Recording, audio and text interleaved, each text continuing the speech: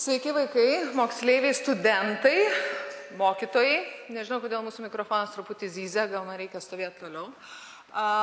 Pradėsim mūsų paskaitą, kuri vadinasi šiaip jau Legenda. Įdomiau už legendą. Kasgi gali būti įdomiau už legendą apie Darių ir Grieną? Kas gali būti įdomiau negu Gustavo enciklopedija, negu šitie visi televiziniai, neistoriniai šaltiniai, kurie mums pasakoja ir pasakoja tą labai populiarų pasakojimą apie Darių Grieną ir jų skrydį Lituanikos lėktuvu. Mano tikslas yra šiandien jums papasakoti apie tikrąją e, istoriją ir leisti jums šiek tiek išvelgti, šiek tiek, nes visko, visų atradimų mes apšnekėti nespėsime, kiek skiriasi mūsų žinoma, populiari legenda apie Darių ir Girieną ir tikrieji istoriniai faktai, kurie nustatomi yra tik pastaraisiais metais. Ką aš to noriu pasakyti, kad tikrosios Dariaus ir Girieno istorijos jūs kol kas negalite perskaityti jokioje knygoje.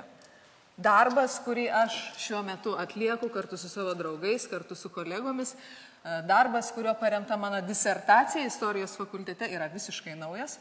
Ir aš tikiuosi, kad tai iliustruoja štai ši skaidrė, kurioje yra tik 13 metais, 2013 metais pradėtas kurti trimatis e, lituanikos modelis. Ką tai reiškia?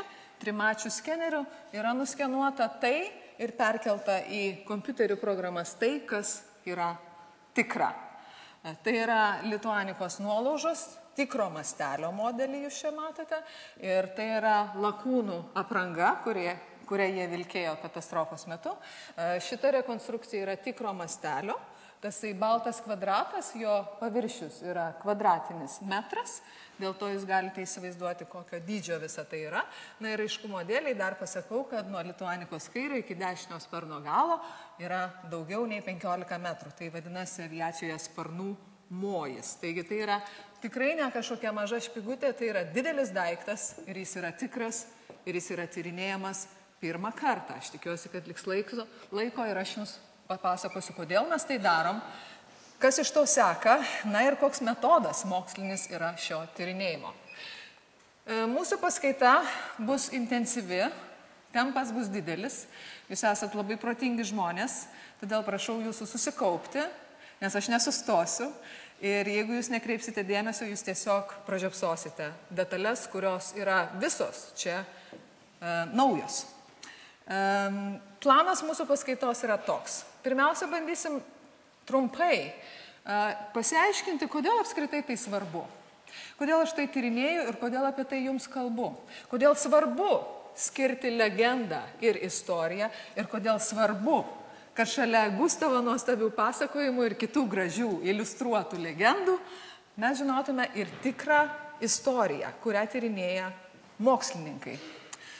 Toliau apžvelgsime naujausiais istorijos šaltiniais besiremdami patį pagrindą šitos istorijos. Nelyzdami į detalės, kurių čia yra tiesiog per daug jūsų galvelėms šiam kartui, mes įsiaiškinsim kelias detalės apie pagrindinius dalykus, tokius kaip patys lakūnai, lėktuvas, skrydis, katastrofa. Bet kuris iš jūsų, remdamasis jums žinoma legenda, galėtų papasakoti apie šitus dalykus savo versiją. Aš, remdamas istorijos šaltiniais, jums papasakosiu truputį kitų dalykų apie tuos pačius lakūnus, lėktuvas skrydį ir katastrofą.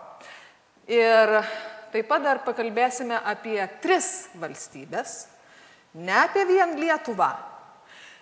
Norėdami atkreipti jūsų dėmesį į tai, kad Dariaus Grieno Lituanikos istorija nėra vien Lietuvos istorijos dalis. Tai yra tarptautinė istorija, tai yra tarptautinis detektyvas, jeigu norit, taip populiariai. Ir papasakoti Dariaus Girieno istorijos iš vieno kurio nors taško, Vilniaus arba Kauno, neįmanoma. Mums reikia važiuoti į daugelį miestų Junktinėse valstijose, Vokietijoje ir Lietuvoje, kad mes surinktumėm visas detalės apie šitą istoriją. Ką aš ir darau. Ir galiausiai aš tikiuosi, kad jūs ir pamatysite Kodėl tai svarbu? Ir koks skirtumas, kai mes pasakojam vien legendas ir kai mes atkreipiam dėmesį į mokslininkų tyrimus. Taigi pradedam. Pirmiausia, aš noriu pasakyti, kad kiekvienas tyrimas prasideda nuo to, jog susipažįstame su ankstesnių autorių darbais. Dabar, jūs galėtumėt mane užmėtyti kepurėm tikrai, dėl to, kad Čia pat universiteto bibliotekoje, arba ypač nacionaliniai mažyto bibliotekoje, jūs rastumėt krūvas knygų ir dar, dar didesnės krūvas straipsnių žurnaluose ir laikraščiuose, kur aprašyta visa Dariaus ir Girieno Lituanikos istorija. Tai kodėl aš dabar jums kvaršinu galvas? Ko aš dar ieškau? Ko ten nėra? Aš turiu pripažinti, kad literatūros, kino kronikos, filmų, vaidybinių, dokumentinių, mėgėjiškų. Apie Darių Girieną yra sukurta tikrai labai daug. Ir patikėkite, aš juos visus skaičiau ir žiūrėjau ir nagrinėjau. Skirtumas yra tas, kaip mes žiūrėsime į šitą krūvą literatūros ir filmų. Jeigu mes žiūrime kaip paprasti žmonės, ne, kuriem, ai šiaip įdomu kažką paskaityti, viskas gerai. Bet jeigu mes žiūrime tyrinėtojo, istoriko akimis, mes atrasim vieną labai įdomų dalyką kad literatūros ir filmų yra daug. Ir iš pažiūros, tai yra rašytiniai ir ikonografiniai arba vaizdiniai šaltiniai, kaip mokslininkai sako, bet informacijos juose beveik nėra. Ką aš noriu pasakyti? Kad visose tose knygose, straipsniuose ir filmuose yra grūdelis informacijos, toks mažas informacinis užtaisas, kuris kartojamas visose knygose ir straipsniuose ir filmuose. Tuose e, literatūros ir kinematografiniuose šaltiniuose yra keliami tie patys klausimai, bet neprieinama prie atsakymų nagrinėjimo. Kodėl? Todėl, kad nėra ten pateikiama naujų istorinių šaltinių. Kodėl ten nėra istorinių šaltinių? Todėl, kad nebuvo anksčiau kompleksiško istorinio tyrinėjimo trijose valstybėse ne kurioj nors vienoj. Taip? Taigi, istoriko požiūriu galime sakyti, kad vadinamoji istoriografija šio įvykio yra labai labai menka, jeigu ji yra apskritai. Kas dominuoja, kas vyrauja mums prieinamoje, toj kiekybiškai labai gausioje literatūroje ir filmuose? Legenda. E, moksliškai mes turėtumėm sakyti, nacionalinis naratyvas, tautinis pasakojimas. Pasakojimas, su kuriuo tauta tapatinasi, su, iš kurio tauta semėsi įkvėpimo, kuris yra simboliškas tautai, kuris yra tautos istorinės sąmonės dalis. Taigi mūsų didysis nacionalinis naratyvas apie Darių ir Girieną ir jame yra vyraujantis mitas. Koks yra pagrindinis mitas apie Lituaniką. Jis yra aprašytas šitoj knygoj. Šis puslapis yra iš 1935 metų knygos. Taigi kiek jai metų? 80 metų šitai knygai. Jis yra laikoma geriausia knyga iki šiol išleista apie Darių Girieną Lituaniką. Jos autorius yra Petras Irgėla. Ir tą knygą jūs tikrai galite paskaityti, verta ją paskaityti. Bet kaip istorikai mes iškart atkreipiam dėmesį, kokiais šaltiniais remiasi autorius. O autorius šaltinių turi va tik tiek - sauja. Autorius Petras Jurgėlas sėdi Čikagoje, Junktinėse valstijose, ten, kur gyveno Stasys Girienas ir Stepanas Darius. Ir jis remiasi iš esmės Stepano Dariaus asmeninių archyvų. Ir tai yra gerokai per mažai, kad jis galėtų aprašyti visą istoriją nuo pradžių iki galo. Todėl Šitoj knygoj daugiausiai yra žinių apie lakūnų biografijas ir apie pasirengimą skrydžiui. Bet sėdėdamas vien Čikagoj, nenuvažiuodamas net iki Vašingtono, tikrai negavęs informacijos iš Berlyno ir neišprašęs informacijos netgi iš Kauno, Petras Virgėla negalėjo šitos istorijos papasakoti taip, kaip buvo iš tikrųjų. Nes jis sėdėjo Čikagoj su Dariaus asmeniniu archyvu. Taip? Bet tebūnie, tai yra labai gerai, kad jis padarė šitą veiksmą ir išleido šitą knygą. Ji labai populiari, Ji buvo perleista nepriklausomoje Lietuvoje ir greičiausiai daugumos iš jūsų namuose šita knyga yra. Taigi dabar pasižiūrėkime šitą vieną puslapį. Tai yra skyriaus pradžia ir skyrių Petras Irgėla pavadina labai dramatiškai. Soldino miško paslaptis. Prisimenat, Lituanika nukrenta miško pakrašty netoli Soldino miestelio. Vokiečiai sako Zoldinen Statforst, ar ne, tai Solino valstybinis miškas. Nu ir kur čia dabar ta paslaptis? Tai va, čia yra toks mitas. Štai kaip jį išdėstė Petras Jurgėla, remdamasis šaltiniais 33 metų spaudoje. Jis rašo štai ką. Paskelbta, kad Lenkų pasieniai vokiečiai pastatė kulkosvaidžius ir patrankėlės lėktuvams apšaudyti. Pasienio sargybai įsakyta šauti į kiekvieną Vokietijon lekiantį priešo lėktuvą. Berlyne diplomatai kalba, kad Lituanika krito ne dėl kūro trūkumo ar kokios nors kitos priežasties, bet buvo pašauta, neva kaip Lenkų lėktuvas naktį lekiantis Vokietijon. Netoli Berlincheno miestelio esantis švyturys naktį buvo apšvietęs Lituaniką. Lietuvos pasiuntinybėms atstovams nuvykus nelaimės, nelaimės vieton, lėktuvos keveldros jau buvo pradėtos krauti kiton vieton, lakūnų kūnai sudėti į karstus. Dėl to nebuvo galima smulkiai vietoj ištirti nelaimės priežasis. Šį pranešimą paskelbė beveik visų užsienio valstybių spauda. Įtarimą ypač kėlė Latvijos spaudos pranešimas, kad Daug kalbama apie Dariaus ir Girieno žuvimo priežastis, nes 32 metais metais anksčiau negu nukrito Lituanika. Arti tos katastrofos vietos užsimušė iš Rygos į Afriką skridę Latvių lakūnai. Ir kasgi jiems nutiko, ogi variklis dieną be jokios priežasties sustojo ir priežastis likščiol neišaiškina, bet kalbama, kad lėktuvas jų nustojo veikęs variklis dėl kažkokių mirties spindulių. Būų. Labai paslaptinga. Labai baisu.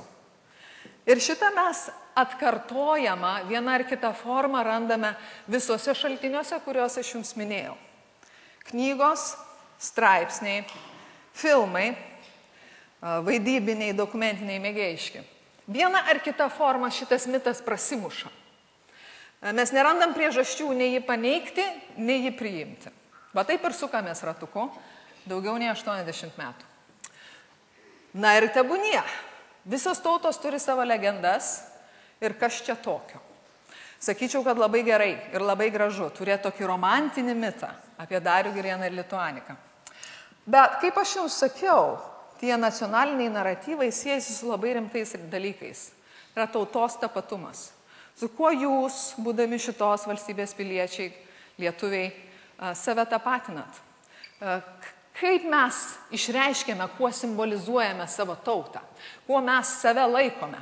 Ir čia jau prasideda labai rimti dalykai. Bet ar galima tada apie rimtus dalykus kalbėti visiškai nerimtai? Mes labai mėgstam, reiškia, tas visas pasakas ir įvairiausias formas ir ją sekame tiesiog be galo be krašto. Čia vienoje pusėje jūs matote uh, iš, ištrauką paveikslėlius iš uh, komikso išleisto prieš 60 metų. O čia matote paveikslėlis išleisto komikso pernai. Taigi mes tikrai tai labai mėgstame daryti, bet kaip sakiau, nei informacijos tame gausėja, nei iš to smagumo galų gale nieko smagaus nebeišeina. Nes viskas yra vien, vienas per tą patį. Ką mes šiek tiek daugiau žinome, tai kaip ir Petras Urgėla parašė apie lakūnų biografijas ir pasirašymo skrydžiui. Labai fain, o kas toliau? Dar didesnė problema yra ta, kad Tautinis tapatumas ir valstybingumas nacionaliniai tautiniai valstybei yra svarbus pamatas. Ir čia mes jau kalbame apie tokius dalykus kaip politika. Ir šita istorija yra susijusi su mūsų politika, su mūsų valdžios veiksmais nuo pat 33 metų. Čia vėlgi šioje pusėje matote 33 metais vidurvasarį kalbą sakantį ministrą pirmininką Juozą Tubelį, įteikiant po mirties lakūnams aukščiausius valstybės apdovanojimus. Čia šitoje pusėje matote dabartinį mūsų valstybės elitą, valdžios elitą. Tai yra prezidentė, Tai yra krašto apsaugos ir užsienio reikalų ministras, ambasadorė Varšuvoje ir dabar jau buvęs kariuomenės vadas ir karinių oro pajėgų vadas. Kažką tai sako, ar ne? Ir ar tuomet nereikėtų susirūpinti, kad už to slypi labai didelės mito ausys ir labai daug klausimų be atsakymų. Ar neįdomu, kad mes nepaisant viso to reikšmingumo istorijos, tik dabar atrandame istorijos šaltinius? Hm? Čia klausimas pasvarstymui. Labai apibendrinant, dar kartą pabrėžiu. Mitas numeris vienas legendoje apie Darių ir Girieną yra pašovimas. Iškart pasakau, iškart, be diskusijų. Nėra jokio istorinio šaltinio, kuris pagrystų pašovimo versiją. Taškas. Kai tik toks šaltinis atsiras, aš būtinai pasakysiu. Bet kol kas jokioje valstybėje ir jokiam mieste nerasta jokių pakankamai patikimų istorijos šaltinių, dokumentų, kurie nors kiek leistų, prileisti tokį, prileistų galimybę, kad iš tiesų nacijai pašovė Lituaniką. Žinot, tyčia, netyčia, čia antrinis klausimas. Bet iš kurgi kilo tas mitas ir tas gandas? Truputį sugrįšime prie Vokietijos valstybės 33 metų vidurvasarį, paskaitos pabaigoje. Dabar pasakysiu tik tai tiek labai trumpai. Dažniausiai baisus gandai kyla tada, kai mes kažko bijom. Kai mes bijom, kodėl mes bijom? Dažniausiai bijom dalykų, kurių mes nesuprantam, negalim paaiškinti. 33 metų vidurvasarį Vokietija nacionalsocialistų Vokietija, kaip suprantate iš šitos vėliavėlės, um, buvo tas reiškinys, politinis darinys, kurio tikrai gerai nesuprato nei eiliniai gyventojai, tiek valstijose, tiek Lietuvoje, kartais netgi pačioj Vokietijoje, tiek apskritai politikai, diplomatai. Tai buvo didelis akibrokštas. E, kai Adolfas Hitleris tvirtinosi ir veržėsi į valdžią, Žinot, niekas netikėjo, kad atsiras šitokio pobūdžio būtent valstybė. Ir netgi vietos politiniai opozicijai tai buvo staigmena. E, ir tuo metu, kai nukrito Lituanika, tais mėnesiais nuo pavasario, Vokietijoje vyko labai keisti dalykai. Žinot, degė Reichstagas, įsivaizduokit dabar Seimo rūmus umai su, supleškančius. O naktį, pavyzdžiui, kelios savaitės prieš Lituanikos katastrofą, virš Berlyno po nakties. Atsikėlę gyventojai visur rado pribarstytą kažkokių proklamacijų lapelių. Ir kągi aišku, Gebelso pasakė ministerija, sakė, kad čiagi naktį, suprantate, priešų lėktuvai užskrido ant Berlyno ir primėtė šitokių baisių informacijų. Taigi Vokietija yra pavojuje kažin kas čia skraido jų erdvėje, žinote, ir nu, žmonėms ir viduje gyvenantiems buvo didelė įtampa, o užsienio tarptautinė bendruomenė iš tiesų negalėjo patikėti tuo, kas įvyko. Mūsų pasiuntinybės Berlyne diplomatai vos kelios dienos prieš katastrofą rašė mūsų užsienio reikalų ministerijai. Alio, nacionalsocialistų revoliucija jau įvyko. Tuo buvo sunku patikėti. Ir tuo metu politikai, diplomatai su dideliu nerimu iš tiesų stebėjo, kaip visuose valdžios lygmenyse vyksta didžiuliai pokyčiai Vokietijoje. Ir prognozuoti šitą raidą buvo labai sudėtinga. Taigi tai buvo tokia valstybė, į kurią visi žiūrėjo labai atsargiai, budriai ir su dideliu įtarumu, nesuprasdami iš tikrųjų gerai, kas vyksta ir todėl buvo sunku patikėti, kad šitokioj valstybėje, tokioj vietoj lėktuvas gali nukristi šiaip savo. Kažkas ten turėjo būti nešvaru.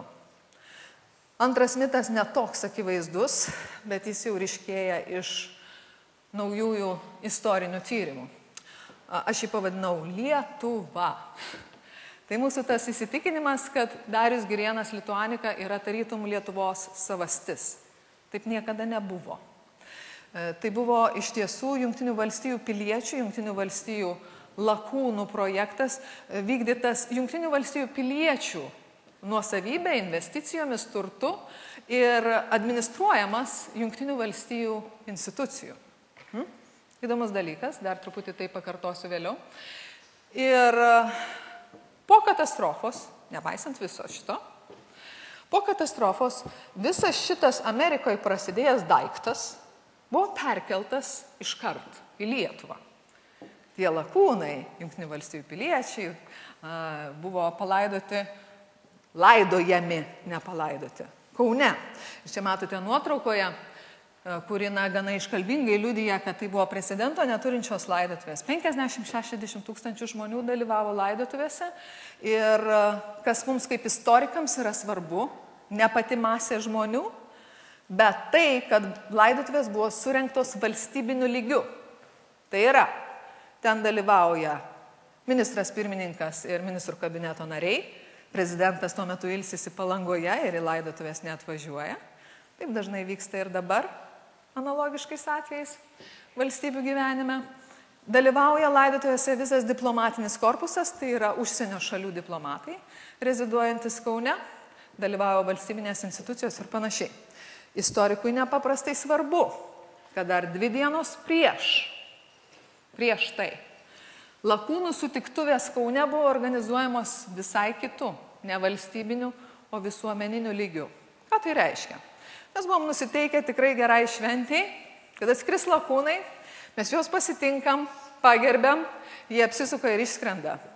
Visiems labai džiugu, bet valstybė lieka niekuo dėta po katastrofos kažkodėl viskas pasikeičia. Ir tai yra valstybės reikalas. Ir šita didžiulė dviejų dienų ceremonija jau rengiama valstybės lėšomis, dalyvaujant valstybės vadovams.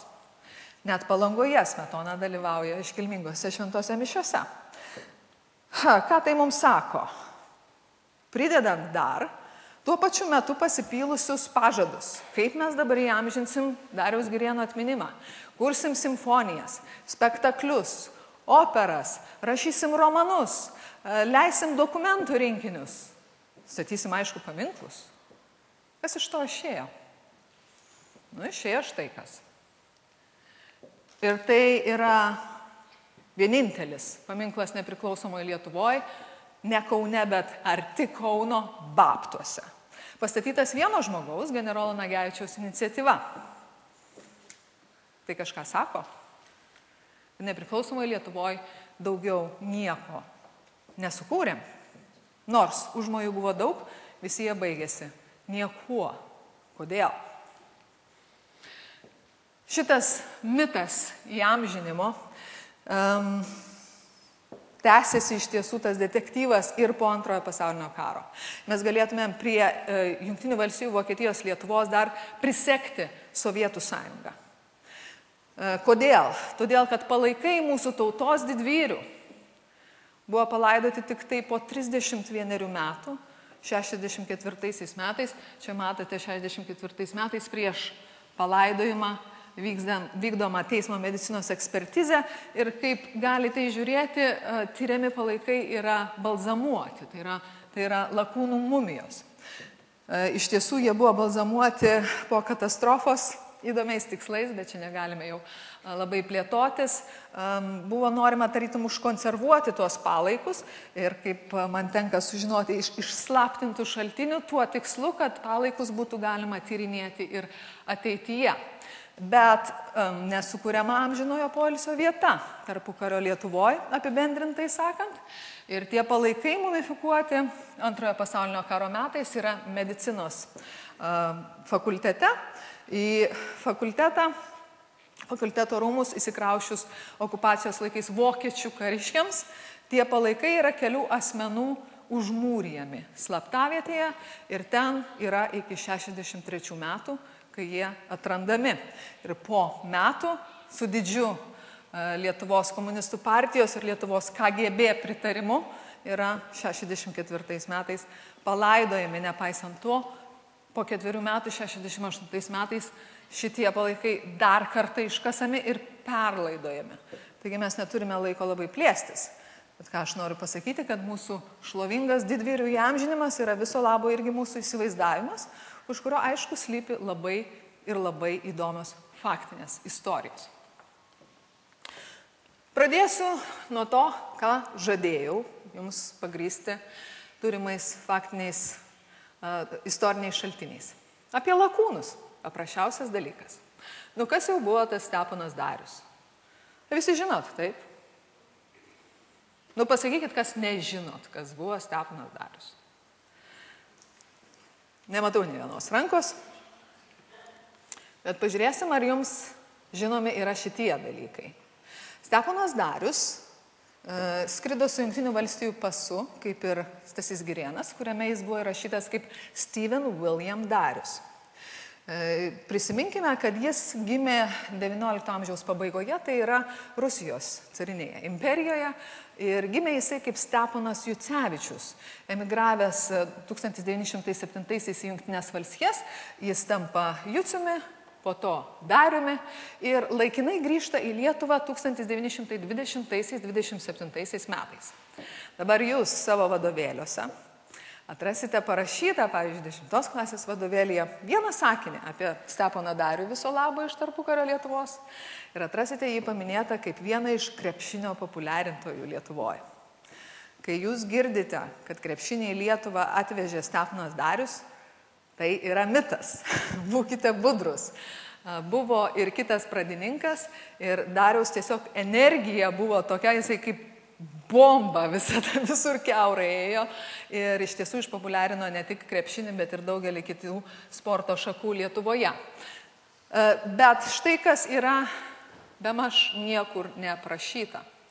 20 metais E, tas Steven arba Steponas Darius atvyksta į Lietuvą su dvigubais asmens dokumentais. Kaip Junktinio Amerikos valstijų pilietis, pirmojo pasaulinio karo veteranas, jis dalyvavo Junktinių valstijų kariuomenės, buvo pėstininkų kapralas, tai yra puskarininkis, dalyvavo mūšiuose Prancūzijoje, buvo sužeistas, gavo apdovanojimų, dėl to labai paprastu būdu įgyjo Junktinių valstijų pilietybę ir jis štai atvyksta į Lietuvą kaip toks kuris niekada nebuvo Lietuvos pilietis. Bet kartu jis turi kišenėje kitą dokumentą, kuris sako, kad jis yra Lietuvos pilietis, kuris niekada nebuvo Junktinių valstybių pilietis. Hm, gana įdomu. Ir pirmasis jo darbas Lietuvoje yra vidaus reikalų ministerijoje, e, kaip ten dokumente parašyta, kriminalis darbuotojas. Tai reiškia operatyvininkas, o jeigu liaudiškai, tai agentas. Na ir jau nieko nuostabaus, kad 1923 metais jis yra vienas pagrindinių kovotojų vadinamame Klaipėdos sukilime. Taip, apie kurį galbūt girdėjot, jei nepamiršot, kai Klaipėdos kraštas buvo prijungtas prie Lietuvos. Šitas epizodas Dariaus biografijos nėra ištirtas. Ir mes tikrai gerai nežinom, tai kas buvo šitas asmuo ir ką jis čia darė Lietuvoje, iki tol, kol neįstojo į karo lakūnų mokyklą ir štai tada jau garsėja kaip žymus visuomenininkas ir aišku, pramokęs skraidyti, tai kaip ir žavus karo lakūnas, taip, kuris čia sukuria šeimą. Dabar Stasys Girienas pasirodo besas Stanley Girch, kuris kartais dar turi ir antrą vardą - Stanley Thomas Girch. Gimęs irgi e, Rusijos imperijoje, e, vos beveik ten 3-3 metai išeina skirtumas kaip ir e, Steponas Darius, na ir jie gyvena už keliasdešimties kilometrų vienas nuo kito Žemaitijoje, bet nebaisant to susitinka tik tai emigravę, jau visiškai būdami suaugę žmonės Čikagoje. Ir jo gyvenimas susiklosto šiek tiek, arba sakykime gerokai paprasčiau, tai buvo savamokslis mechanikas, našlaitis, tikrai kabinėsis į gyvenimą savo jėgomis, kaip sako, dantimis ir nagais. Ir jis taip pat yra Junktinių valstijų kariuomenės veteranas, tarnauja pirmo pasaulinio karo metais, bet Teksase, kur dislokuotos karinių oro pajėgų eskadrilės ir jis nėra, neperkeliamas į Europą, į mūšių zonas. Taip pat įgyja Junktinių valstybių pilietybę ir verčiasi smulkių verslų, sakykime, ten prieš pradėdamas Lituanikos projektą, jis turi taksi kompaniją ir be to, būdamas tų tokių labai gabių rankų, jis įsigyja galop ir lėktuvą. Pirmas jo buvo mechaninis prietaisas. Įnagis tai buvo dviratis, po to motociklas, po to motorinė valtis ir po to lėktuvas ir jis savo tikrai darbščiom rankom sugeba viską prižiūrėti ir viskas veikia, važiuoja, plaukia, skrenda. ir jis dalyvauja ir varžybose kaip lakūnas akrobatas. Tai yra, žinote, kur tas visokias figūras išdarinėja. Ir nuo 32 metų jis tampa dariaus bendražygių verslo partneriu, nes sutarė kartu su Dariumi įvykdyti šitą nepaprastą perskridimą. Ir tam jis sudaro su Dariumi, su Dariumi Steponu Dariumi sutartį. Kas čia dabar per daiktas? Darius Girč sutartis, dievulėliau. Jūs esat šimtus kartų girdėję, manau, bent vieną uh, tekstą susijusi su Dariumi ir Girienu ir tai yra jų vadinamas testamentas. Taip, mes skrisime į Lietuvą. Jaunoji Lietuva, tau ten skiriame šitą žygį, nes, žinai, tėvynė iš savo sūnų laukia drąsesnių žygių ir taip toliau ir panašiai. Noriu atkreipti jūsų dėmesį kaip istorikų tyrinėtojų, kad šis tekstas literatūrinis neturi jokios teisinės galios. Tai yra simbolinis gestas iš tiesų tėviniai, e, lietuviams, kuriuo simboliškai dedikuojamas skridimas per Atlantą. Dedikacija, tai žinote, yra kas, kaip pavyzdžiui, atsiverčiat knygą, kai jūs rašysit savo knygas, parašysit skiriu mamai. Bet tai nereiškia, kad jūs savo knygą ir visą tiražą ir visą pelną padovanojat mamai, taip? Tai reiškia, kad autorius liekate jūs, bet jūs skiriate pagarbindami, pašlovindami savo mamą šitą darbą jai. Lygiai taip pat tas testamentas yra toks simbolinis gestas. O projekto esmė, šito perskridimo esmė buvo šitoj sutartį, kuri iki šiol nepublikuota. Čia jūs matote originalą šitos sutarties su visais parašais, jie yra užtvirtinti ir lakūnų advokatų ir kasgi joje buvo sutarta. Pirmiausia, ką mes dažniausiai užmirštam, kad lakūnai ne, neketino čia, žinote, atskristi ir pasibūti gerokai. Jie ketino skristi per Atlantą du kartus ir e, iš Lietuvos išskristi vėliausiai po dviejų savaičių. Tai yra labai greitai techniškai vėl paruošti lėktuvą, visiems gražiai pamojuoti ir skristi atgal į Junktinės valstijas. Antras labai svarbus mums e, tyrinėtojams momentas yra tas, kad Lituanikos pačio, pačio lėktuvo arba kokio nors kito turto jie niekam nenumatė dovanoti. Buvo numatyta galimybė po sėkmingo perskridimo pasiūlyti Lietuvos vyriausybei nusipirkti Lituaniką už tam tikrą mažiausią sumą.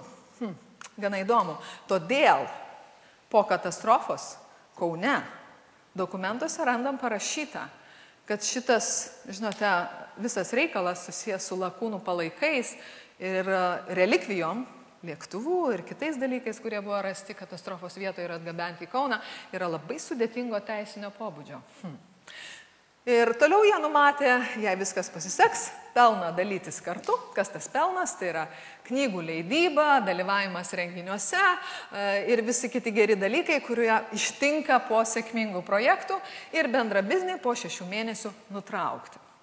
Taigi tai yra tikrai teisinės pasiekmes turėjęs dokumentas ir vėl pamastykit gerai, būtent jo mes nežinome ir jisai buvo samoningai niekur neskelbiamas. Toliau, apie patį skrydimą. Na, tai buvo kokia esmė? Tai buvo siekis rekordo, galbūt pasaulinio, jeigu ypač būtų pavykę suskristi pirmin ir atgal, tai vienas dalykas, kad tai būtų tikrai naujas oro kelias, Nes prisiminkit 33 metus, kame buvo esmių esmė. Žinot, e, Kolumba, girdėtas kažkur toks barzdotas dėdė. Taip, Kristupas Kolumbas plaukė ten ir po jo dar plaukė ir plaukė.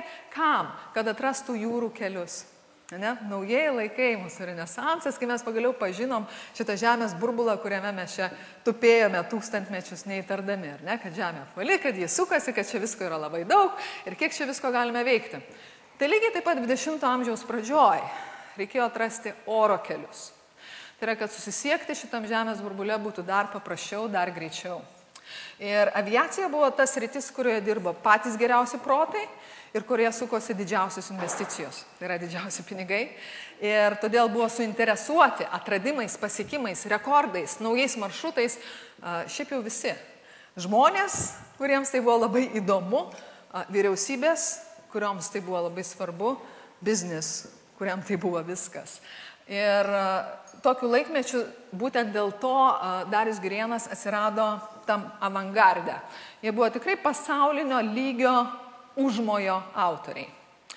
Perskridimų per Atlantą tuo metu buvo daugiau negu 70, pavykusių mažiau negu dvigubai. E, taigi, bet kuriuo atveju jau suskristi pirmin atgal sėkmingai būtų didelis pasiekimas. Plus tai naujas maršrutas, plus tai yra didžiulis nuotolis virš 6000 km, ar ne?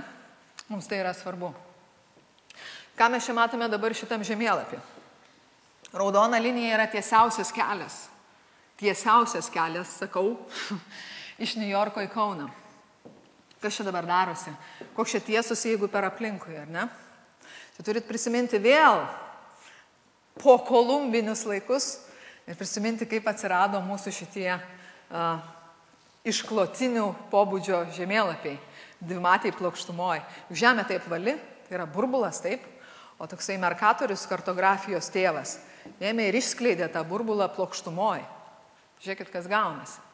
Tada tas tikrasis atstumas ant burbulo, kai jisai pro projektuojasi dvimatiai plokštumoje, jis išsikreipia. Nes jeigu jūs įsivaizduojate iš geografijos dienovidžius ir lygiagretės, tai ties pusiaujo atstumas tarp dienovidžių yra pats didžiausias, ties ašigaliais jisai beveik nulinis, taip? Dienovidžiai taip eina, ar ne? Ir to, kai kreivės brėžiate, kuo arčiau pusiaujo, tuo ten viskas labiau klaiposi, ar ne? Tai dėl to vat, vadinamo didžiojo rato efekto tiesiausias kelias mūsų tam plokščiam dvimačiam žemėlapį atrodo toksai kaip tarsi per aplinkui. Ir kitos linijos tai yra planuoti ir spėjami lituanikos maršrutai. Kas mums čia yra svarbu? Kad Darius Girienas kyla iš New Yorko, iš to paties aerodromo, iš kurio tais metais kyla, na, praktiškai visi, turbūt galima sakyti, panašus panašių užmojų lakūnai. Floyd Bennett Field aerodromas. Taip skrenda per Newfoundlandą ir čia mūsų žinios kažkur va čia va nutrūksta ir nuo čia mes visiškai nebeturim žinių, per, per kur atskrido Lituanika. Kitas taškas, kuriame mes turim duomenų, tai jau yra prie katastrofos vietos Vokietijos sausumoje. Kaip pamatysime va čia ir pakastas svarbiausias šuo. Tai yra tas finalinis taškas Vokietijos sausumos teritorijoje.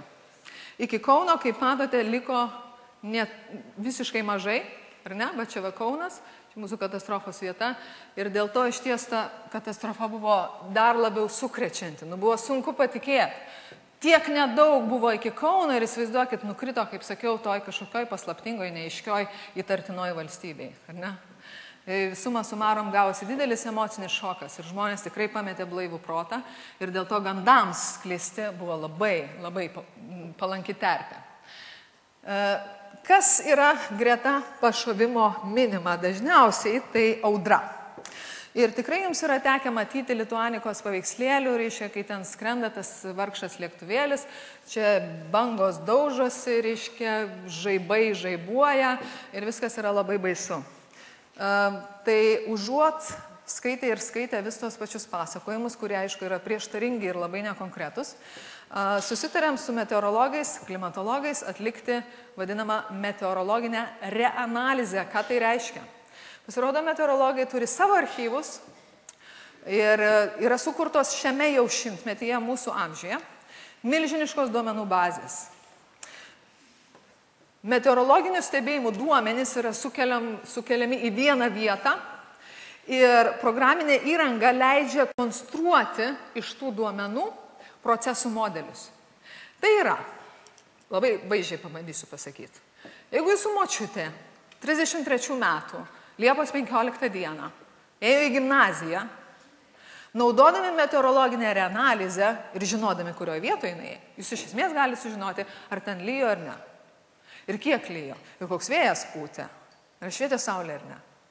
Ir įdomumas dar yra tas, kad naudodami meteorologinės reanalinės duomenis, duomenų bazės e, ir šitus procesų modeliavimo principus mes galime žinoti orų sąlygas tiksliau, negu tuo metu, sakykime, žinojo meteorologai, kai skrido Lituanika. Nelengva tai turbūt suprasti, bet faktas yra toks. Ir šitos reanalizės būdu mes e, nustatėm trijų, e, tris blogų orų zonas, e, kurios buvo netoli arba tiesiog ant Lituanikos planuoto maršruto. Ir vienas iš svarbiausių dalykų, ko gero, buvo tas, kad Kaip jūs čia ir matote, finalas skrydžio buvo toks. Spalvomis yra pažymėtas kritulių kiekis. Ir iš tiesų labai blogų orų zona buvo tarytum, na, tikrai užstojusi kelią toliau į rytus, į Kauną, bet nebuvo taip, kad lakūnai, reiškia, tarsi apakė imtų ir lėktų į tą audrą. Nesielgia taip lakūnai, jie nemokomi taip elgtis. Niekada, nei tais, nei šiais laikais. Ir jie elgėsi būtent vadovaudavėsi tokią logiką ir kaip matot, katastrofa iš, ištiko geresnių, vos geresnių orų teritorijoje. Taigi ten, kur nukrito Lituanika, nebuvo lietaus. Buvo kitos problemos. Buvo tamsi naktis, žemi debesis ir praslinkus uh, lietaus šuorui dar kilo rūkas. Taigi matomumas buvo visiškai prastas. Lėktuvas neturėjo šviesos ir buvo labai sunku nusileisti. Neturint ypač dar tikslių duomenų apie reljefą paviršiaus, kur tu leidies. Be pigų nusileisti ant ilgo plataus pakilimo tako, dar jeigu jis apšviestas. Nu, bandykit nusileisti, va, išsijunkit visas šviesas namie, dar langus užsisandarinkit. Ir prisikraukit visko ant grindų ir pabandykit greitai perbėgti kambarį. Aš čia jums nežadu eksperimento atlikti, bet jūs įsivaizduokit, kaip tai yra sudėtinga. Ir greičiausiai tai baigtųsi nekaip. Tai čia yra juokas palyginti su tuo, kas buvo nusileisti ten, reiškia apsisukus nuo to audros debesies. Klausimas iš tiesų apie Lituanikos katastrofą turėtų būti ne kaip nukrito Lituanika, bet kodėl jinai apskritai atsidūrė Vokietijos sausumoje. Bet turbūt tas klausimas dar per ankstyvas ir jums bus per sunku suprasti. Aš noriu tik tai jums pasakyti, kad šaltinių duomenimis katastrofos momentas yra išaiškintas labai puikiai dar 33 metais. Katastrofą oficialiai tyrė dviejų valstybių - Vokietijos ir Lietuvos pareigūnai. Ir nors abiejų valstybių tyrimų išvados šiek tiek skiriasi, vienas dalykas ten aprašytas vienodai. Būtent tai, kaip lėktuvas nukrito. Situacija buvo labai paprasta. Lėktuvas skrido labai žemam aukštį, kuriame šiaip jau neketinant leistis, skristi labai rizikinga. E, skrenda žemai, kaip minėjau, praktiškai nieko nemato.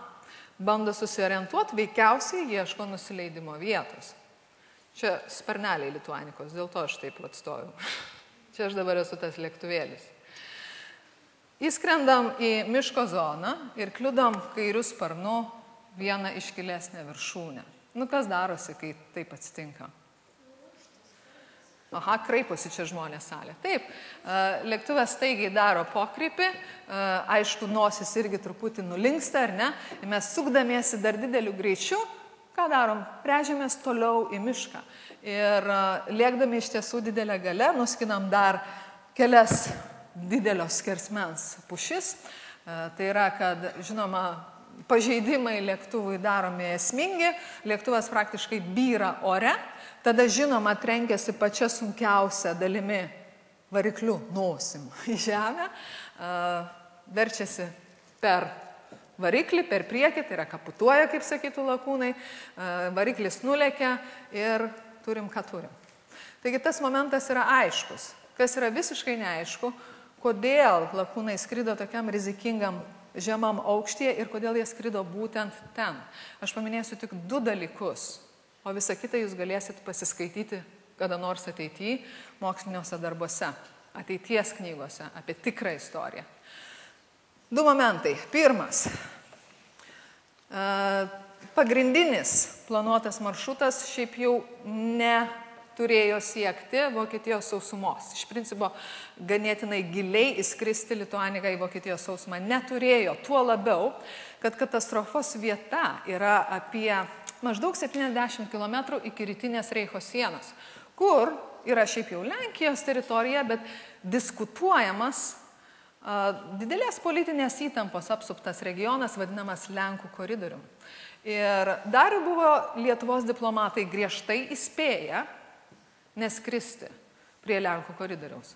Ne dėl kokios nors ginkluotės, Nes ir vėl jokių faktų tenai apie kažkokią dislokuotą prieš lėktuvinę artileriją, tuo labiau Vokietijos pusėje nėra net užuominų, bet dėl to, kad tai yra um, politiškai labai įtemptas jautrus regionas, kur geriau nelyst, kad nedaug die neprisivirti kažkokios košės. Uh, taigi dėl dviejų dalykų šiaip jau netikėta buvo, kad Lituanika ten įskrido.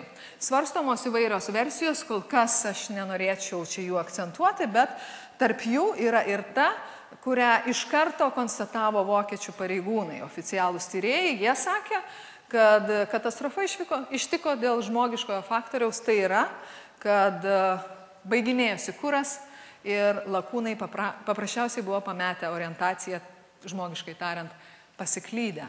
Tenka prie šitos versijos sugrįžti įvertinant visus faktus. Dabar Tiek apie tą katastrofą, nes ten galima būtų kalbėti labai ilgai. Dar ką žadėjau, trys valstybės. 33 metai. Užsiminiau, kad Lituanika išskrenda kaip jungtinių valstijų lakūnų ir piliečių pilotuojamas jungtinėse valstijose registruotas ir modifikuotas orlaivis. Ir skrydis yra įteisintas iš dalies, ne iki galo, Junktinių valstijų institucijose. Lietuvos pasiuntinybė e, Vašingtone po katastrofos praeis vos porai savaičių. Įsivaizduojat, ką turėjo sakyti lietuviams? Sakė, alio, atsibuskit. Lietuvos pasiuntinybė, kaip ir Lietuvos vyriausybė, sudarius ir gyvenus skrydžių nebuvo niekaip susijusi. Teisinių požiūrių tai buvo jungtinių valstybių reikalas. Todėl mes negalėjome ten niekaip kištis nei finansiškai labai tenai kažko padėti, e, Darius ir Grienas niekada to nie neprašė, nei kaip nors kitaip dalyvauti šitam projekte. Hmm? Taigi, kas atsitiko tuomet po to? Išskrenda mes iš, iš, iš New Yorko, kaip parodė tyrimas Junktinių valstybių nacionaliniam archyve, kuriame pavyko rasti, pavyzdžiui, valstybės departamento visą specialią bylą Darius Engirč, kurioje yra ir išslaptintos medžiagos, tai yra dokumentai, kurie buvo slapti ir nebuvo prieinami visuomeniai iki nesenų laikų. E, iš tos bylos visiškai paaiškėjo vienas labai svarbus dalykas. Lituanikos startas yra neteisėtas. Tai yra, kad Darius darė viską, kas yra reikalinga įteisinti tokį sudėtingą skrydį. Šiandien nėra taip, kad iššokė lėktuvą ir lėki kur panorėjęs. Ne, ne, ne, ne. Oro teritorija virš valstybių irgi yra tokia zona, kuri rūpi ir yra kontroliuojama ir šiais laikais, ir, ir tais laikais, tik tai lygis, aišku, skiriasi visa. Teisinė bazė skiriasi, vadinamoji oro teisė egzistavo jau ir tuomet. Ir buvo tokios procedūros, kurias privalėjo padaryti lakūnai. Ir Darius jų samoningai nebaigė. Ir kai išskrido Lituanika, buvo šioks toks skandalas. Ir aeronautikos skyriuje prekybos departamente, tai yra vienoje iš Junktinių valstybių ministerijų, buvo pradėtas tyrimas dėl Lituanikos starto incidento. Tyrimas, aišku, nebuvo baigtas, todėl kad greit atskriejo žinia, kad lakūnai žuvo. Kurgi jie žuvo? Hmm, toj blogoj vietoj, blogų laikų. Kuo čia dabar dėti šitie paveikslėliai? A, Vokietija labai stengiasi, aš bandysiu labai paprastai sakyti, nes čia yra ta a, niuri politika. Vokietija labai stengiasi tuo metu įrodyti savo gyventojams, savo piliečiams ir tarptautiniai bendruomeniai, kad ji yra pavojuje. Kodėl? Nes po pirmo pasaulinio karo jinai negali turėti savo ginkluotės, kurti savo ginkluotų pajėgų, turėti savo karinį rezervą ir panašiai. Ir dėl to buvo varoma tokia propaganda, kad, nu, įsivaizduot, va štai vargšas Reichas yra apsuptas užsienio valstybių didžiulių pajėgų, kurių galinga smogiamoji jėga, aišku, yra oro pajėgos, taip, iš visų pusių, čia va Lenkai, Lenkų koridorių zona, nes tas Lenkų koridorius tarytum yra atskyręs Reicho gabalėlį, rytų Prūsiją, ne? Nu ir vargšai, vad, vokiečiai neturėdami jokios ginkluotės, vos nesuvėsdų turi gintis nuo tų visų lėktuvų, ne? Siaubas, koks pavojus. Uh, ir neteisybė, vaja vaja. Ir čia padidintas vaizdas iš kito žemėlapio, nes tokių tekstų, tokių proklamacijų, tokios reklamos buvo labai labai labai daug. Ir ką dabar daro ta Vokietija? Ką dabar daro Vokietija, kai prieš lėktuvinės tos gynybos negalime turėti, ar ne? Jis kūrė visuomeninės organizacijas. Uh, gynybai, ne va. Bet supraskite, kad tai yra civilinė gynyba, ne karinė. Tai yra mes nešaudom ten į lėktuvus, nes neturim kuo. Uh, nebent kažkoks pistoletas ar kulkosvaidis, kuris prieš lėktuvą yra praktiškai bejėgis. Uh, bet mes stebim Visa visuomenė Vokietijos buvo keliama ant kojų ir buvo kuriama tokia organizacija, toks tinklas, kad joks lėktuvas nepastebėtas nepraskristų pro Reichą kad būtų orlaiviai identifikuojami, na ir gaudama, žinoma, kiekviena žinia, paskelbti savo piliečiams ir pasauliui, kokiam baisiam pavojui yra atsidūrusi šita valstybė ir kokia neteisybė, kad jinai negali kurti savo ginkluotojų pajėgų. Tai yra ideologija, tai yra vidaus ir užsienio politikos uh, vienas iš svarbiausių prioritetų. Ir štai tuomet įskrenda vidurį nakties, be šviesų, neidentifikuotas orlaivis, kurio čia niekas nelaukia. Tai kad apie skrydį nebuvo pranešta, niekas nežino, kas tai yra. Ir tokioje situacijoje, aišku, kyla nemenka sumaištis. Ir svarbiausias Vokietijos interesas tokiu atveju yra koks, kad iš to nekiltų didelis skandalas. Nes Vokietija turi išlikti auka, o ne agresorė. Todėl bet kokie plėtkai, kuriuos paleidžia iš karto prancūzų ir belgų spauda, prancūzai ir belgai pirmieji apkaltino, savo vokiečiai, ojojoj, kaip ten blogai, blogoji valstybei, pikti vokiečiai, nacionalsocialistai pašovė taikų lėktuvą. Tai buvo kaip peilis po kaklu ir tokias žinias reikėjo tikrai kuo greičiau dėl šito politinio intereso gesinti. Tai ko Vokietija tikrai nedarė, jinai neskatino niekada ir išsamaus tyrimo ne dėl to, kad ten būtų kažkas paslėpta ir kažkokia samokslo teorija būtų buvus, pašovimo galimybė, bet dėl to, kad tai kirtosi su tos valstybės politika. Ir dar vienas įrodymas iš e, išslaptintų duomenų yra štai, tarkime, ši schema. Čia mes matome Reicho irgi tą šiaurės rytų regioną, kryžiukų pažymėta katastrofos vieta. Ir po neilgo tarpo diplomatiniai korespondencijoje atrandu tokį susirašinėjimą, kur diplomatai yra apstulbinti žinios, kad štai čia tas kvadratas yra paskelbiama neskraidimo zona. Ir diplomatai daro išvadą, kad aišku, tai yra e, strateginiais tikslais padaryta, kad sukurta infrastruktūra e, ne karinės kažkokios bazės nuolatinės, bet sukurti kas? Keliai, vietos apgyvendinti. Tai yra toks regionas, kuriame galima staigiai mobilizuoti didelės pajėgas. Ką tai mums reiškia? Mums reiškia tai, kad Lituanika nukrito ne šiaip va tam reikia, kuris buvo įtartina ir paslaptinga, dar neprognozuojama valstybė, kuri keitė vidaus ir užsienio politiką, bet ji nukrito dar labai jautriam regione. Ir diplomatai tai stebėjo patiliukais, bet garsiai apie tai dar nebuvo kalbama. Viskas buvo labai šviežia. Ne, dėl to tai tikrai sudėtinga situacija ir jums jau matau darosi per sunku tai apriepti. Prisikasam tik pabaigai prie Lietuvos. Šitoj schemoj pagal spalvytės galite atskirti. Atkūriau dokumentų pagrindų tokią labai labai supaprastiną seką. Kaip prasidėjo Lituanikos istorija, raudona spalva yra Junktinės valstijos, čia yra Vokietijos dalis, taip, susijusi tiesiogiai su katastrofa. Ir po to štai visi galai, kaip matote, veda į Lietuvą. Nedidelis dar raudonas kvadratėlis reiškia tai, kad turimais istoriniais šaltiniais, Junktinės valstijos niekada netyrė Junktinių valstijų piliečių katastrofos ir netgi tokių iniciatyvų, tokių užmojų praktiškai nebuvo. Junktinių valstybių vyriausybė niekada nesikišo į šitą katastrofos tyrimą. Tai atliko Vokietija ir Lietuva, kad ir kaip tai paradoksaliai galbūt jums atrodytų, bet tam buvo irgi politinės ir teisinės priežastis. Taigi, ką noriu pasakyti tuo, kad e, istorija, kaip matote, yra sudėtinga. Istorija yra plati geografinių požiūrių, istorija yra labai plati tarp disciplininių, kaip sako mokslininkai, pobūdžių. Čia neužtenka žinių apie Lietuvos istoriją, čia neužtenka nuvažiuoti į Anykščius ir Kauną ir pasižiūrėti paminklų, čia reikia žinoti bent trijų valstybių istoriją ketvirtam dešimtmetį ir dar įsigilinti į Sovietų sąjungos istoriją, kad mes suprastumėm, pavyzdžiui, tokį elementarų dalyką.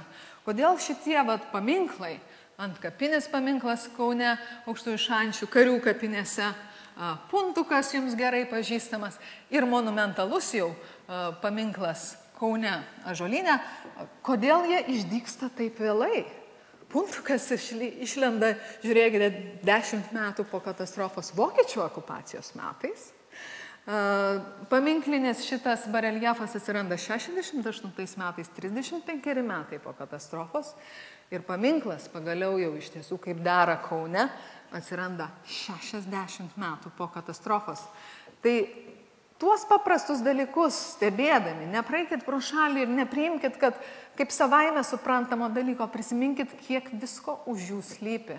Ir tai yra ne tik istorija, tai yra tarptautiniai santykiai, tai yra politikos mokslai, tai yra navigacija, tai yra mechanika, tai yra meteorologija, tai yra netgi teismo ekspertizė, ne, anatominiai tyrinėjimai. Šitiek visko daug slypi už lituanikos. Taigi jūsų pasirinkimas kaip brandžių, protingų, intelektualių žmonių, ar tenkintis vien legenda, ar greta legendos vis dėlto pridurti istoriją ir imti domen vis dėlto mokslinius tyrinėjimus. Sugrįžtų prie pradžios. Nacionalinis naratyvas, legenda, romantinis pasakojimas apie Darių ir Girieną yra labai gerai. Kiekviena tauta, kaip minėjau, turi tokių legendų. Bet brandžioji visuomeniai dominuoja ne mitas. Yra tam tikra pusiausvyra tarp mūsų mitologijos, tarp to, ką žmonės tiesiog mėgsta plepėti susėdę ir tarp šiek tiek rimtesnių, racionalizuotų, moksliškai argumentuotų duomenų.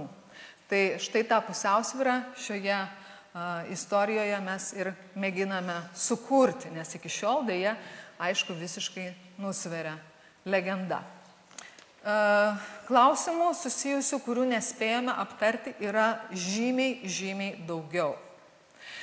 Jūs galėtumėte čia mane tardyti dabar tris paras, bet aš ką galiu pasiūlyti, kol yra neišleista knyga, tai yra tinklalapis, kuriame aš bandau populiariai pateikti paties tyrimo naujienas. Tai yra, ką ir kur mums pavyksta atrasti.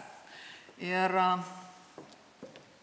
kadangi mes jau beveik kalbame valandą, tai turime, na, kokias penkias minutės jūsų klausimams. Štai žmogus seniai nori paklausti. Klaus.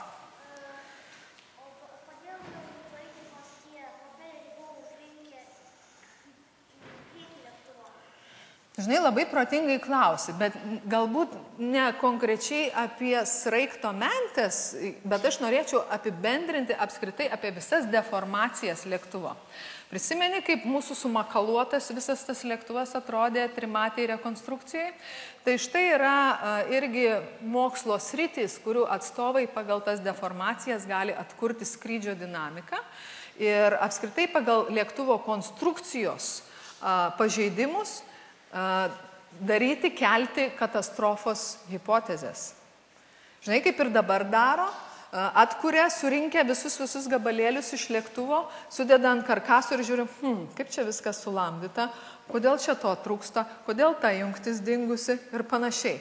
Taip kad sraigto mentės tai yra maža maža kruopelytė visumoji, kurią mes dar turėsime tyrinėti. Ir manau, kad su mano disertacija tai nepasibaigs. Šitas tyrimas duos darbo daugelio sričių mokslininkams.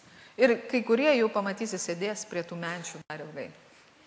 Taip, draugas nori paklausyti. O kodėl?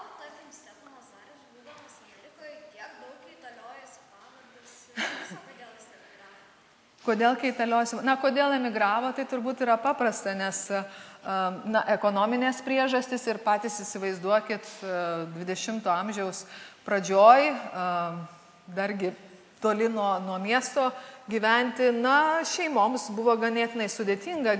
Girienas, prisimink, buvo našlaitis apskritai. Buvo labai labai sunku išgyventi. Dariaus tėtis anksti mirė. Ir vėl buvo tokia labai, žinai, sunki šeimos padėtis, o į Ameriką tuo metu žmonės emigravo daugiausiai dėl finansinių motyvų, tiesiog dėl aukštesnio pragyvenimo lygio. Taigi tai buvo turbūt pagrindinė priežastis. Lietuvių be, lietuvių be galo daug buvo emigrantų laivuose, kurie tada kasdien plaukė į New Yorką tūkstančiais. Tai turbūt ta buvo pagrindinė priežastis. Toliau. Prašau.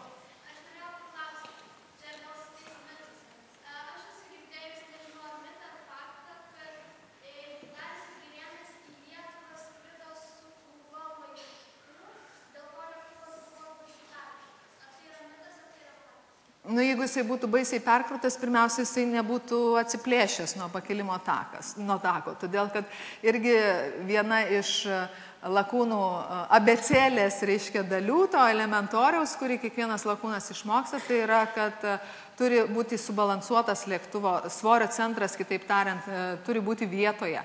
Ir lituanika buvo perkrauta, jeigu jau taip, tai ne laiškų, o kūro nes juk modifikuotas orlaivis buvo specialiai ir iš jo išimta viskas, kas įmanoma, kad tik ten įtalpintumėm dar vieną didesnį kūro baką. Taigi tikrai e, pašto siunta nieko ten negalėjo išbalansuoti, nes lėktuvas sėkmingai nuskrido daugiau negu 6000 km. Ir, na, jeigu Jeigu ten, žinai, galvotumėm apie įvairiausias fantastiškas katastrofos hipotezės, tai aš manau, kad pašto siuntos tam sąraše vis dėlto nebūtų. Žinoma, jinai egzistavo, tik tai mitas e, susijęs su pašto siunta yra tas, kad na, mes labai dažnai iškart mėgstam, a, e, reiškia, šokti iš vietos ir pasakyti, dar Sirgrienas pirmieji įvežė pašto siuntą per Atlantą. Nesąmonė. Tikrai pašto siuntos buvo oro paštus e, skraidinamos dar nuo 20 metų. Tik tai e, skirtumas tas ir vėl prasideda e, nuo kokio miesto į kokį miestą, kokiu atstumu, kiek ten laiškų ir panašiai. Tai va taip su didelėm, didelėm, didelėm išlygom mes rastumėm ten vietytę kažkokią tuose sąrašuose gabentojų oro pašto ir, ir surastumėm, reiškia, vietą dar ir girieną įrašyti. Bet jie tikrai negabeno pirmieji oro pašto siuntos. Su tuo reiktų tiesiog atsargiau šiek tiek faktų elgtis. Prašau.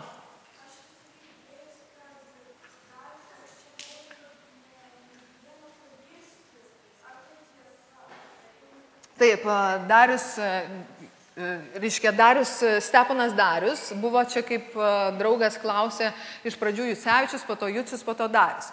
Girienas, kaip mes ten žiūrėjome, buvo Girskis, po to Girč arba Girčius, o Girienas apskritai nebuvo jo teisėta pavardė. Asmens dokumentuose nebuvo jokio Girieno.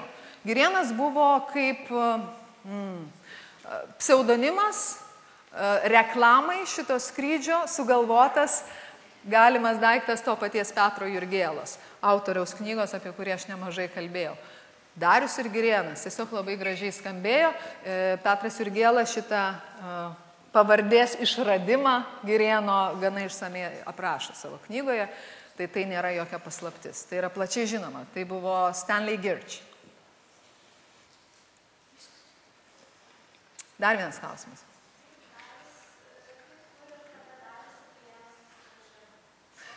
Uh, niekas ne parašė, žinai, prie kurios staliuko ir kurioje kavinėje jie tiksliai kalbėjosi, išlikę yra pasakojimai, kuriais aš nebūčiau linkus visiškai šimtų procentų tikėti, bet e, atspirties taškas, tarkim, mano tyrime, tai yra 32 metų jų e, kartu įvykdytas e, serijinio Belankos modelio lėktuvo pirkimas.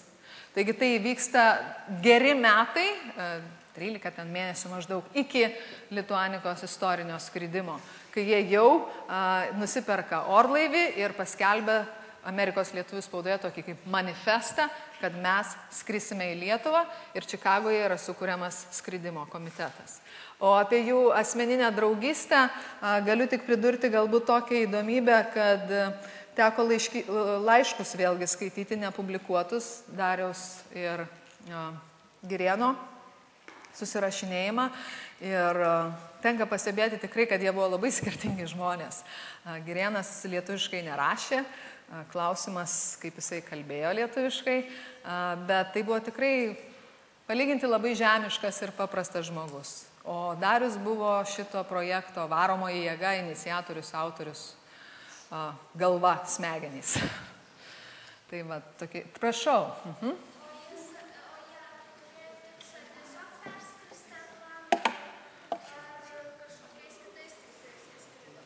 Nesupratau klausimo.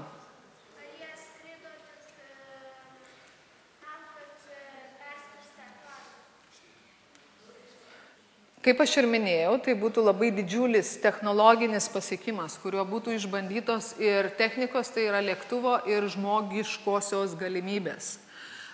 Nes tai buvo sunku ir techniškai, ir netgi fiziškai ištverti šitą, šitą perskridimą, nes paprasčiausiai lėktuvai visos konstrukcijos ir, ir varikliai nebuvo tinkami šitokiam ilgam nuotoliui nuskristi be nutupimo.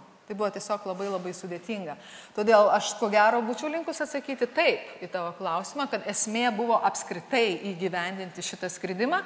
Kaip antrinis užmojas, labai gražus simbolinis gestas, tai buvo žinoma išgarsinti savo tėvų žemę Lietuvą šitų skrydžių, ta simbolinė dedikacija jaunai Lietuvai. Tai buvo antrinis jų tikslas, tikrai nemažiau garbingas. Aš siūlau pasižiūrėti linksmuo dėliai, išsiskirstant vieną video, kur pamatysite mano žadėtąjį, jums parodyti rekonstravimą trimatį, kas jums galbūt 21 amžiaus žmogiukams yra įdomiausia, kaip tos technologijos pasitarnauja mokslui. Tai jūs čia matysite šitą skenavimą ir ir dėliojimą. E, čia jau matote tą e, tokį permatomą modeliuką, kuris buvo šiaip jau nemenkas šito Lituanika 3D projekto etapas. Tai yra dar vienas mitas susijęs su Lituanika yra tas, kad mes taip puikiai žinome, kokia jinai buvo. Faktas yra tas, kad modifikuoto orlaivio brėžinių mes neturime. Taigi šimtų procentų atkurti Lituaniką tokia, kokia jinai skrido, šimtų procentų. Visiškai tikslių mastelių su visom detalėm mes negalime, nes paprasčiausiai nėra dokumentų. Jūs pasakysite, ha, aviacijos šventėse skraido va Lituanika, Kensgaila padarė. Bet tai yra replika. Yra toks terminas, tai yra replika, o ne tiksli kopija. Kokia buvo šimtų procentų Lituanika, dėja mes ir aš iki šiol jums pasakyti negaliu. Gali būti, kad visi modifikavimo dokumentai tiesiog neišliko. Kartais atsitinka taip ir šiais laikais, kai kuriami eksperimentiniai modeliai, tai yra kažkoks serijinis lėktuvas pritaikomas tam tikroms specifinėms reikmėms, visų techninių pakeitimų brėžiniai neišlieka. Jų tiesiog niekas nesaugo. Tai matote, reiškia, kad mes vis dėlto pasidarėm bent jau tikslaus mastelio. Tikslaus mastelio, bet su tam tikrom baltom dėmėm, tą bazinį modeliuką. Ir tik tada ant jo galėjom pradėti dėlioti, iš tikrųjų, kaip kokioje Lego dėlioniai, skenuotas a, nuolaužas, visokias draiskanas, a, prietaisus deformuotus, važiuoklę ir visa kita. A, matau ten klausimą, tai kol čia viskas juda, galime dar pašnekėti. Thank you.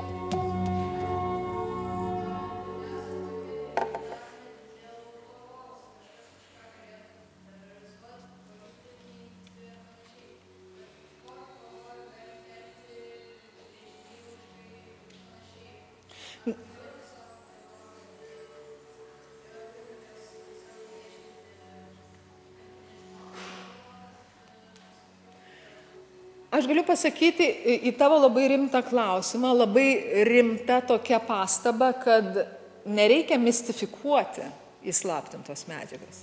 Tai prisiminė apie tai, ką mes kalbėjom, kad ko mes nežinom, to mes pradedam bijoti ir pradėti galvoti, kad tai, kas įslaptinta, tai kažkas yra labai pavojinga, labai baisu ir panašiai. Nieko tame nėra stebuklingo ir šiandien vyksta aplink mus dalykai, įvykiai, reiškiniai klostosi, kurie galbūt taps istoriniais, apie kuriuos mes šiandien žinom va tik tiek. O ateities tyrėjai, sakykime, po 20-30 metų, nes dokumentų senaties laikotarpis vis trumpėja, reiškia, kad jie išslaptinami greičiau. Ateities tyrėjai mums iš tikrųjų galės papasakoti, kaip čia viskas dėjosi. Bet toks jau yra valstybių bendravimas ir sugyvenimas, kad visa informacija niekada nebūna žinoma visiems. Ypač tuo metu, kai vyksta įvykiai. E, kas buvo iš tiesų um, susiję su politiniais dalykais, aš labai taip pabandžiau užkabinti. Tai yra uh, Vokietijos interesai, e, tai yra, na, tie teisiniai interesai pergamenus visą lituanikos paveldą į Lietuvą. Buvo problemų, bet buvo priimtas politinis sprendimas gabenti viską greitai į Kauną. Ir po to mes pastebėjom, kad čia kyla tam tikras juridinis kazusas. Bet tame jokio samokslo nėra. Ir jokio, kaip sakai, pavojaus nėra. Ir nereikia galvoti, kad įslaptinta medžiaga dažniausiai yra susijusi su pavojumi. Tai yra politiniai interesai, tai yra teisiniai interesai, kurie galbūt galėtų destabilizuoti kažkiek padėti, bet nekelti jokių būdų tiesioginio pavojaus.